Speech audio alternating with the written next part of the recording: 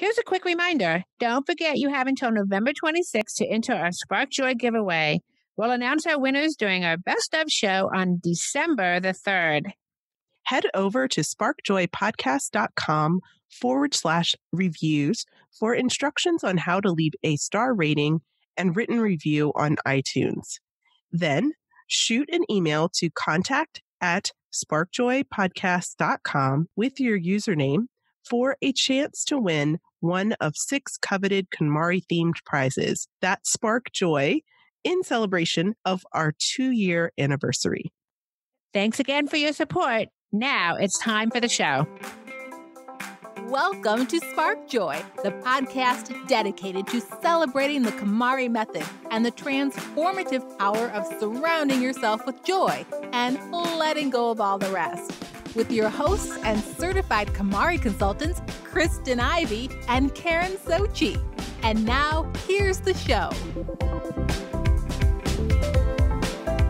Meghan Leahy is the mother of three young daughters, a certified parenting coach, and a columnist for the Washington Post, writing about all things parenting.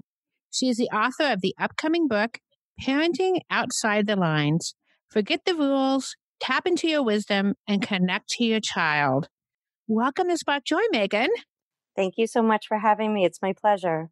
We are thrilled to have you on the show today to talk parenting. I'm sure our listeners who are moms and dads are going to love the tips that you're going to share with us today.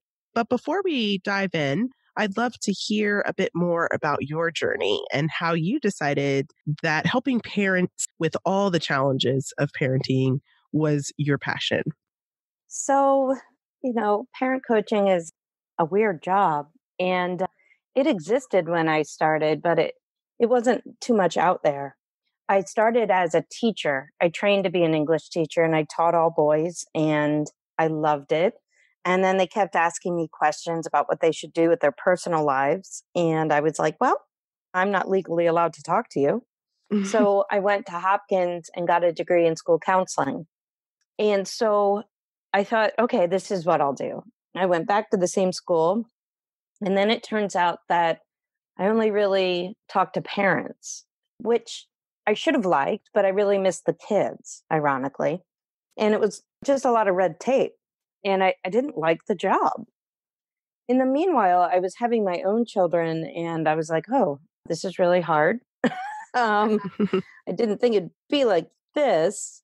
And, you know, as my child was reaching the, the two year old stage, I was feeling really challenged. So I started going to the Parent Encouragement Program, which is a parenting education program here in Kensington, Maryland. And it really, really helped. And I thought, okay, so I started working for them, volunteer teaching. And as I kept going, I just uh, was like, well, I could do this as a business and get paid like properly. Mm-hmm. And so, uh, about mm, five weeks after I had my third child, I became a certified parent coach. I'm not sure like how I did that, looking back, but I became a certified parent coach and and started my business. And as anyone knows who starts a business, it, it was a hustle. And then uh, as I kept going, I ended up also becoming a certified parent or um, a certified facilitator through the Neufeld Institute, which is run by Dr. Gordon Neufeld. He's a Canadian psychotherapist who's amazing. And that really changed my life. It changed my parenting life. It changed my business. Everything kind of came together at that point. So I kind of see parent coaching as what we used to have back in the day when you'd have church elders or your mom or your aunt or your sisters or your dad, your brothers, your uncles, people that would help you because parenting is not an automatic thing. It's a learn on the job kind of thing. And we need people in our lives to tell us we're doing a good job, to help us when we're confused, and really to encourage us. And Americans are unique in that we prize moving away from each other. Mm-hmm.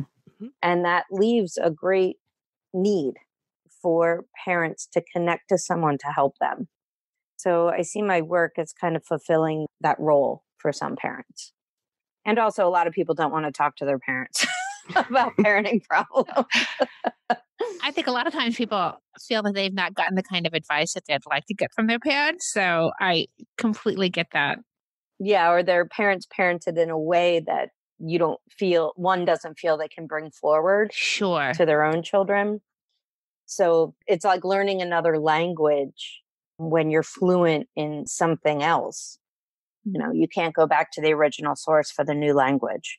So I also offer that a new way.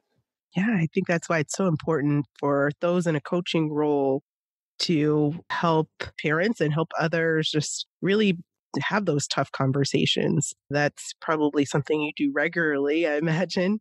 We started with your story because parenting is such a broad topic. And we've spoken about it here on Spark Joy podcast before. And we like to invite different coaches and experts in this area because each one has a different perspective.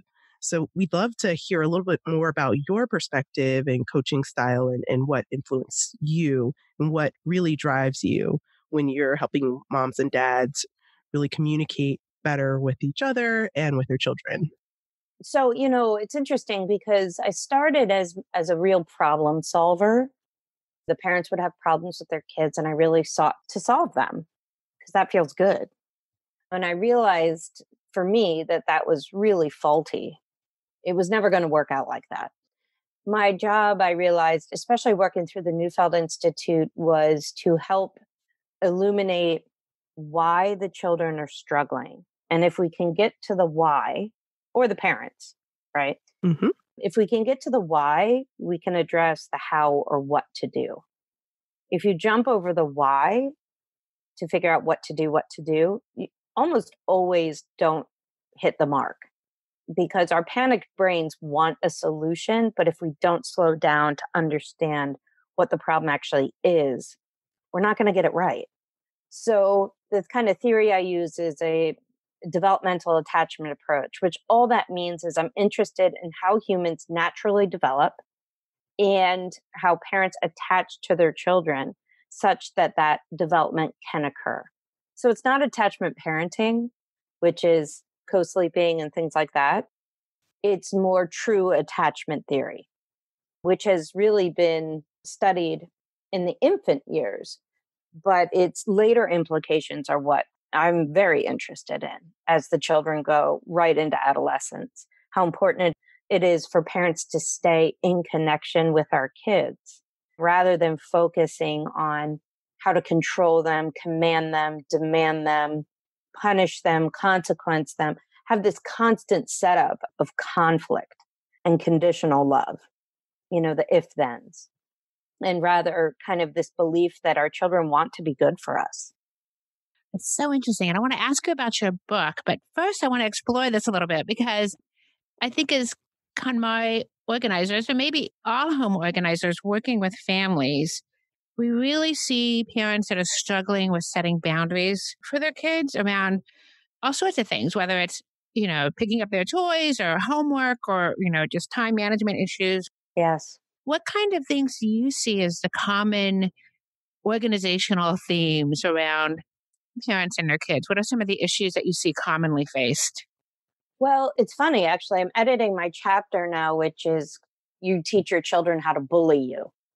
And it's actually about boundaries.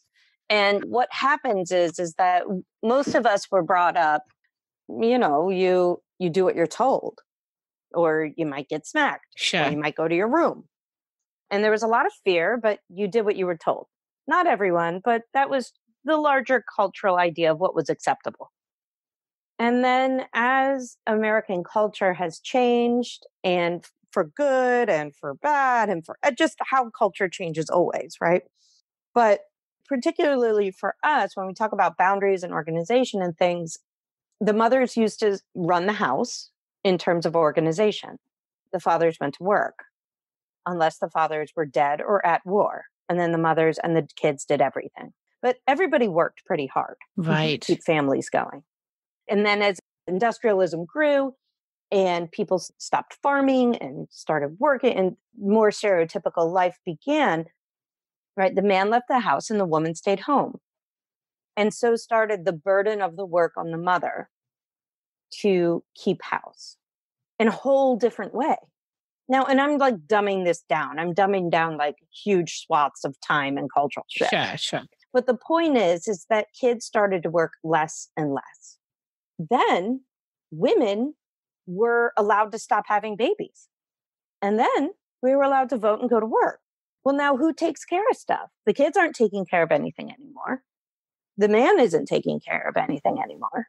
And now the woman isn't at home, but yet is still trying to take care of everything. And we largely are still living with this dynamic. It's getting better. We see all the time some equality of work, women realizing they can bring in outside help without guilt. Mm-hmm. So, uh, you know, men staying home, women go, whatever. But there's just been such a shockingly fast shift in our culture from the way it was like forever. And kids now are as useless as they've ever been. they are just ferried around with snacks shoved in their faces and dropped off at different things if they're lucky. So there's a lot of kids in the country who have to work their heinies off just to eat. Sure. Right. So there are kids in my community who work two jobs and take care of their younger brothers and sisters. Right. So you have this dichotomy, you have this chasm of children. But for a lot of kids, they don't work. The expectation is that they don't take care of their stuff. And the parents are killing themselves to do it. And then they cannot believe their children are brats. And I'm constantly saying, like, listen, brattiness is not genetic. Your kid wasn't born a brat. He or she may have been born intense. They may have been born like with a little extra chutzpah, right? But they weren't born a brat and they weren't born lazy. And so the boundary pushing comes when the developmentally normal stuff occurs when like okay let's pick up our toys and usually the two year old's happy to do it because the two year old's actually a pretty accommodating kid when they're not throwing fits it's the three and the four year old that all of a sudden are like no i'm not interested in doing that. Sure. And we say no we need to do it and the kid no I'm not. And in order to sidestep their screaming we say screw it i'll do it myself right mm-hmm. right and so starts an avalanche of screw it, I'll do it myself, which leads to piles of resentment, the kids doing nothing, and so on and so forth. Right. And I haven't met a parent this hasn't happened to. Mm-hmm. And I also have never met a parent that like laid in bed one morning and was like, how can I really make my kid lazy? right. How can I build resentment and hate my spouse and want to burn down my house and all its junk? it's like a death by a million cuts, death by a million toys. You know, and really, it seems to me that it's quite the opposite, actually. The parents are continually thinking about how they can create this like magical childhood for their kids, which is really admirable, but exhibits itself in just overbuying every new gadget that comes on the market and tons of toys and you know not setting any limits with grandparents and aunts and uncles and and all those things. And i sometimes go into homes where there's just kids stuff is floor to ceiling and the kids their ability to pay attention to any one thing is so limited because there's just so much stimulation around. And a lot of times the parents are really reluctant to you know try something different or to say no to their kids and and then when they do after a prolonged period of you know a child getting just anything that they want or having like this just constant inflow of things then, you know, it really can become a battle. And I've noticed a lot of times, and in KonMari, we talk a lot about how every child is different, and some children just can't wait to start organizing their things and they want to learn about you know what they can donate and about other little kids who might need their toys that they're no longer interested in and then other kids as soon as you suggest that they let go of something that they haven't played with for five years it's all of a sudden their favorite toy in the whole world and how could you dare suggest that it's really i think hard for parents to know how to even start with this process of, you know, kind of re examining what the stimulation is that's coming in and whether or not that's helping their children in the long run really be able to manage their time well and focus and and learn the things that they need to learn. What has been your experience with that? Well, you know, it's interesting because I think when parents realize it's gone too far, that moment where you're like, we have too much junk, my kids are brats, I've lost control, I don't know what to do. And then they have the brave act of reaching out to someone like you or me or something, right? Sure. It's a typical brain thing to want to do all the things. It's like why our diet culture is so good, like at making people crazy. We're not just going to like cut back on a little sugar. We have to wipe out entire food groups. right? We can't just like walk a little extra. We have to go like insane with our workouts. Right? We have to go all in literally insanity, right? right. We're going to fix it. We're just going to fix it all. And I always say to parents, as much as you've gone down this path that you don't like, we have to come back up the road, right? Right. You have veered off your path. You were on 95, you took a country road, it was fine, now it's bad. But you can't like levitate yourself back onto 95. You got to go back up the road. And undoing or, you know, doing something new is acutely painful, far more painful than the organizing. Because once you want something, once any human wants something, we want it right now. Sure. So it's just not sexy to say to parents, so this is going to take like a year, right? Like even after we clean up all your junk and help you fold things all pretty, you're not going to be good at this for maybe a year. And that, that's if you work hard. So Nobody true. wants to hear that. Nobody.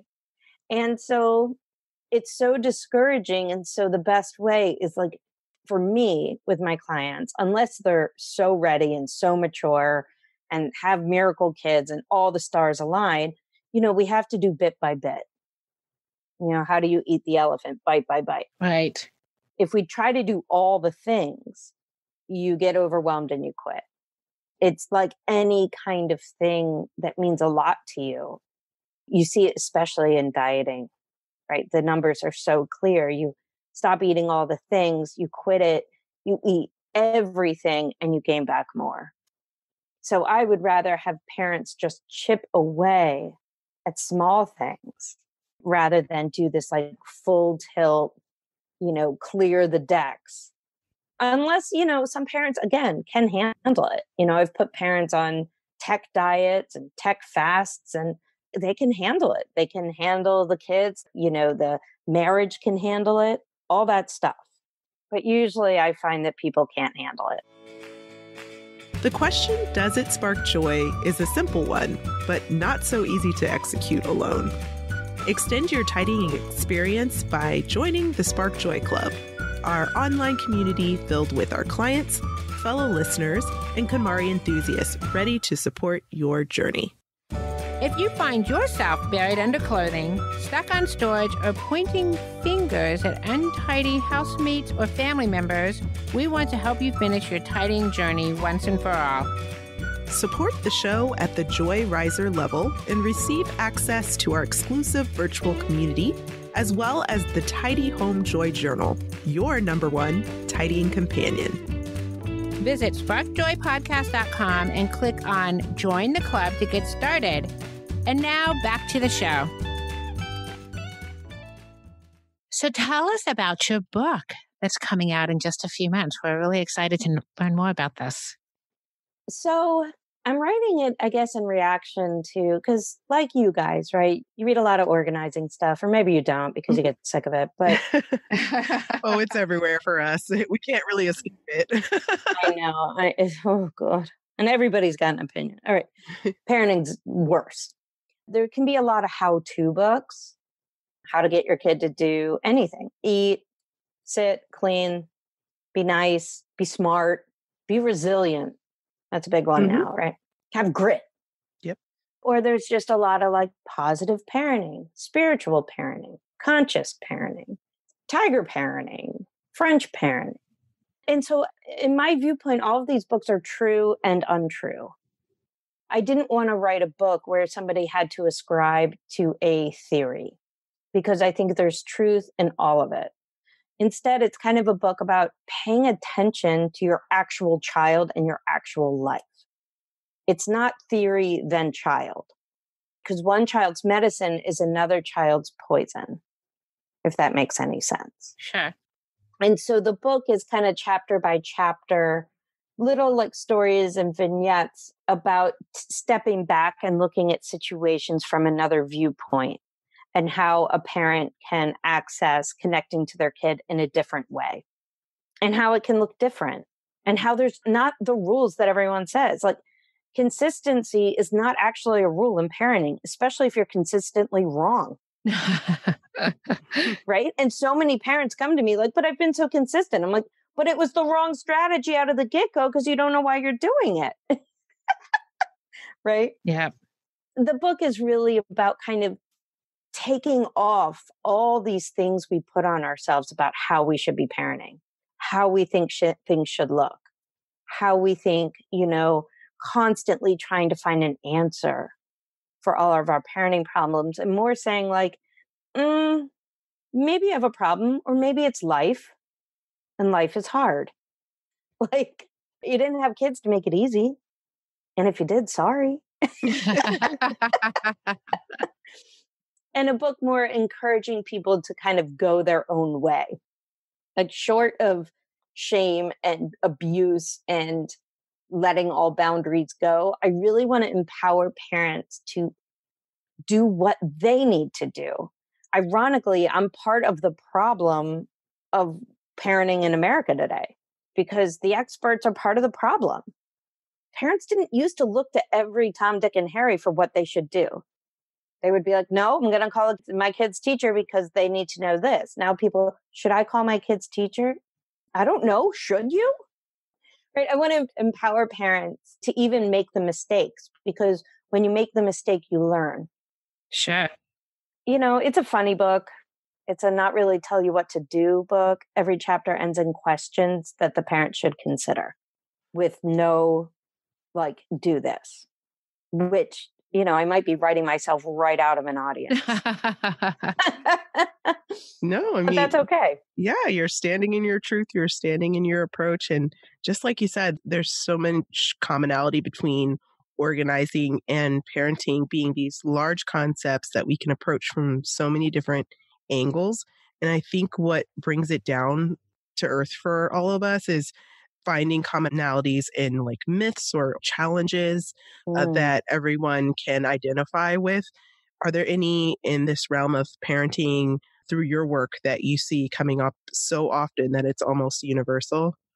Oh boy. Oh my God. That kids should be polite. Really, we are just dumbfounded when they're not polite. Like we're polite all the time. Do you know what I mean? Mm-hmm. Like, hello? No, I'm not. I mean, I can barely manage to not go nuclear in the grocery store. Why do I think my nine year old should be like a smiling idiot all the time? Oh, another big myth, which I'm sure you guys relate to, is that your kids will appreciate the boundaries you set for them. You know, like, thank you for taking my iPad and iPhone away. I needed that. Thanks, mom they're never going to be grateful. It's never going to be the right thing for them. It's too powerful for the brain. They love, they love it. They love gaming and social media and texting, and they're as bad as the adults. And so parents are just like, but they throw so many fits. Yes. That's what kids yes. do. Yep. Yeah. It's so interesting that you say that because um, I often am reminded of, of something that I saw many years ago, but it just really stuck with me forever. I was in a store somewhere. We were on a vacation. I don't even remember where. And there was a, a out of control kid crying. I mean, you know, not like hysterical, but just crying, upset, just making a lot of noise. And the mother kept saying over and over again, Will you please be quiet? Will you please be quiet? Oh, and God. I realized that that child was totally in control. And the poor mom, the exasperation and just desperation in her voice was really a little heartbreaking, but it was it was so interesting to me that and I'm sure she didn't even realize that she had really relinquished control of that relationship either at that moment or at some point prior where she was no longer in charge. She was no longer the parent, that the, that the kid was really the parent. Well, and this has been an interesting phenomenon, right? So, you know, back in the day, that kid would have been spanked in public without shame, right? You know, spanking for sure does not work. Um, it's a beautiful short term solution with some amazing long term problems. Yes. And so, in lieu of spanking, what have we done? Now we talk at our kids to death. The obvious thing for that woman was to, if she could, scoop up her kid and get the heck out of Dodge, right? Like, we're out of here. It's definitely really almost never talking at the kid, right? Because if you have a kid who's lost their prefrontal cortex, if they can't access any rational thinking, right. what is talking going to get you? Right. more frustration. But in absence of beating our kids, we don't know how to hold a boundary with, as I like to call it, silent compassion, which means I'm not going to talk to you about it anymore, but I'm also not going to berate you because you're unhappy. This is, you know, master's level stuff. yeah, You know, if you can be like that 75% of the time, you're a miracle worker. You know, the only parents that are doing the best job don't have kids in their house anymore. yeah. Speaking of that, I think age is a big factor here, right? Especially when trying to practice that silent compassion. We run across that a lot when we are helping parents within the context of organizing. Mhm. And parents often are curious of when is the right time to start being more involved in this, you know, practice and modeling this behavior of Mhm. really starting to teach kids good behaviors about organizing their rooms or even organizing certain things they might be responsible for across the whole home. So I know Marie Kondo, she recommends tidying around the age four or five. And I know Mhm. that Marie was tidying up her bookshelf in the classroom around that age as well. And she has definitely got her two little girls involved in light organizing. And we usually say that children have varying levels of maturity. So you kind of have to feel it out when it's appropriate. Um, I'm curious if you have any thought or tips around encouraging kids to be more organized when that would be appropriate. Oh, yeah. You know, kids are natural workers, Mhm.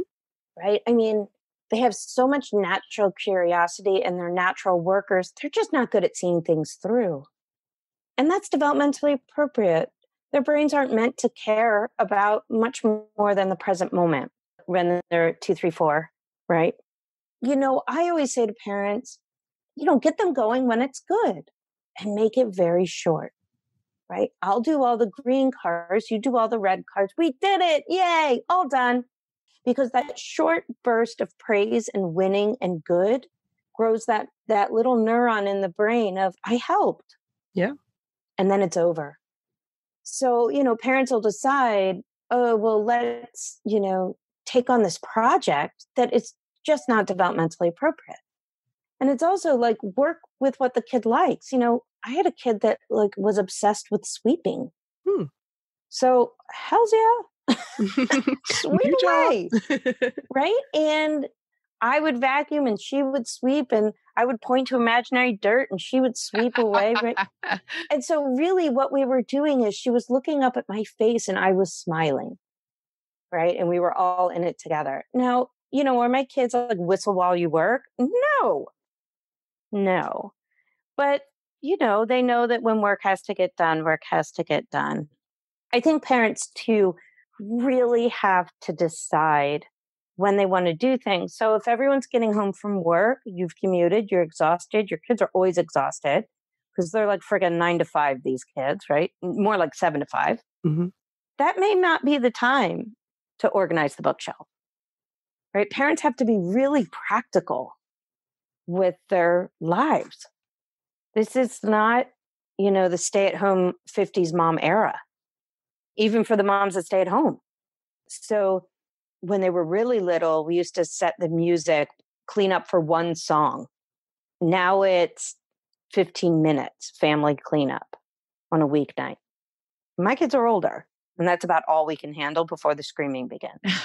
and then the larger things happen on the weekends. The larger organizing, the bigger chores. Mm-hmm. You have to be really judicious with how much patience you have. Depending on if your kid has executive functioning disorders, ADHD, ADD, all these other issues, you're going to have different metrics, right? Because that kid, even organizing their most basic homework, maybe all they can do. And that is their like winning. So if they're struggling through school and then they struggle to do their homework, I don't think it's always fair to turn on and be like, let's clean your room. It may have to make some wiggle room and just throw up a prayer or whatever they believe in that this kid will make it into adulthood. And I'm sure you guys facilitate a lot of connection through your organizing because it can Mhm. be fun and lighthearted. Oh, absolutely. Exactly. It can. Yeah. And people are always surprised by that as well. Because I think they approach it like, oh my gosh, I'm about to walk into something. I'm fearful. I'm anxious. But as soon as we take step one and they get into the flow state, it's like, oh, wow, okay, this isn't that bad. Or, oh, I just found something that just made me laugh. I haven't seen that in a while. It's really fun exploring. And I bet you help parents really, and this is so powerful too, help the kids be proud, Mhm. right? It's so tangible, right? That before and after for those kids. Yeah. That is a huge point of pride. Absolutely. They're so proud. They're empowered. They're excited. Yes. Yes. They're they go off and they do their own thing and they do it sometimes better than the adults can execute it. And that dose of independence and tangible outcome is so, so powerful. It comes in the form of organizing for you guys, but it's really that like, I did it and I'm doing it. Yes. Yeah, really powerful stuff that you guys do for families. And adults as well. I mean, even though we're all grown ups here, uh, we still appreciate, you know, accomplishing something new, mastering a skill. It's Yeah. just always such a positive experience. And it doesn't always have to be uncomfortable for the long term. You know, there are some challenges, of course, Yes. but ultimately there's an other side to this that is just so Can be positive and fun. Mhm. And when it falls apart, it's okay. You can pick up and keep on going.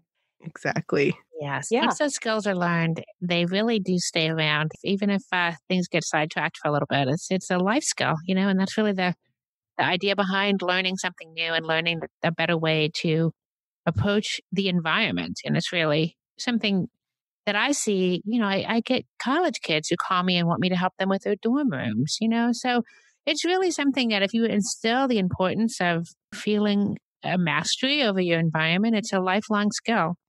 And I'm just even thinking about what a gift it would be for the kids in college. You know, I write in my book that I never once made my bed in my bedroom. My my bedroom was a, a situation of horror. And my friends would come over and clean it while they waited for me to get ready. They'd be like, How do you live like this? I'd be like, What are you talking about? And then when I went to college, somebody wanted to sit on my bed and they were so dirty. They were so gross. And that is when I started to make my bed. Because I was like, if you can't put yourself on my fitted sheets, Yeah. but you know, it would have been maybe nice if I had had some skills going in to take better care of my things. Right. yeah, kids need it. Yeah, that's what we're all about here at Spark Joy respect, gratitude, just honoring things. And you've covered so much today around parenting and organizing and shared so many great tips. But we always ask our guests what their favorite tidying tip is, or in your case, a parenting tip if you want to share. You know, I mean, I'm just going to out myself. I am not a tidy person, but I really believe, and I know this is going to sound dumb, or maybe not. You guys can tell me. You're the experts. it's so deflating to come down to a disgusting kitchen in the morning. It is so important to keep your kitchen clean so that when you come downstairs to do the morning hustle with your children, it's like off to the races. That your kitchen is organized, your sink is clean, your dishwasher is either like ready to be emptied or each one of my kids has to empty the dishwasher every week, it rotates. But I really think that it, it's dumb, but a sparkling sink and everything in its place is the difference for how I'm going to be in the morning with my kids, with my spouse, with my day. It doesn't have to be perfect, you know, like, you know, Martha Stewart. And it sets a precedent for your kids about how it should be before everyone retires for the night. Yes, definitely. And we talked about this this idea of really almost like uh, when you create like an inbox zero in your email situation. Yeah, I uh, wouldn't know what that's like, but yes. Mm-hmm. yeah, I used to be able to do it quite well, and now I store some things in my inbox, so it doesn't work as well. But mm-hmm. I digress. But the whole idea of having a sparkling kitchen to start your day is fantastic. It's kind of like the idea of making your bed every day, but yes. for families, the kitchen seems to universally be the command central, be that central place where everybody shows up yes. and everyone is there the most. You know, if you explore like all areas of the house, I think they've even done research on this as well and shown an average family where do they walk around the house, and the majority of their time is spent in the kitchen. So, a very important space to be tidy. Love your tip there. And we have one more question for you, mm-hmm. and that is at this very moment, what sparks the most joy in your life? Oh, God, that's a hard one. Anything comedy. I really love TV. And I know I should be like, I love nature, but I love like the show Fleabag just won a bunch of awards. Yes. I think TV is, is the best it's ever been. I love the British Bake Off with my kids. I really enjoy watching great writing and acting. I think, it, especially all the women writers and acting right now, that sparks a lot of joy for me and it's like a reward. Otherwise, I really, really love makeup. I'm training to be a makeup artist because wow. why not? And I love makeup. I love watching YouTube videos. That's so funny. I know. I love doing my friend's makeup. I'm doing a wedding this weekend with um, another makeup artist. So I just love all things makeup. And that brings me a lot of joy.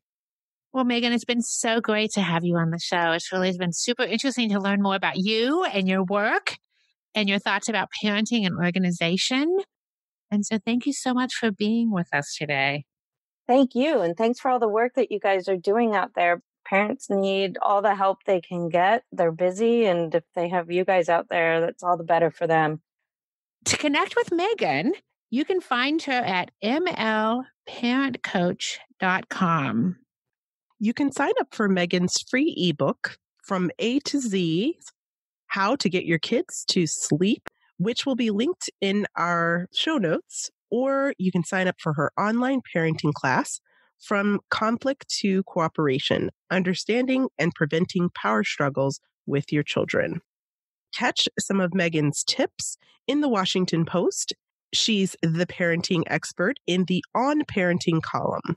And of course, we'll link all of her information in our show notes. So now we want to hear from you tell us your burning tidying questions, or share stories about how KonMari has impacted your life. Head over to Apple Podcasts to subscribe and review the show, which helps us reach others along their tidying journeys. To extend your tidying experience, you can join the Spark Joy Club. Visit sparkjoypodcast.com and click Join the Club to become a member of the Spark Joy community, or you can join us on Facebook, Instagram, and Twitter. Thanks for tuning in, and we hope your day sparks joy.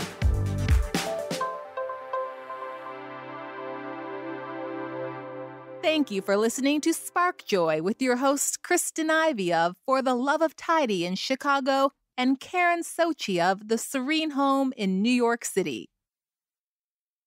Spark Joy, the podcast, is not endorsed by or affiliated with KonMari Media Inc. The opinions expressed on this episode represent the views of the co hosts and guests alone and do not represent the corporate position of KonMari Media Inc. or the KonMari consultant community.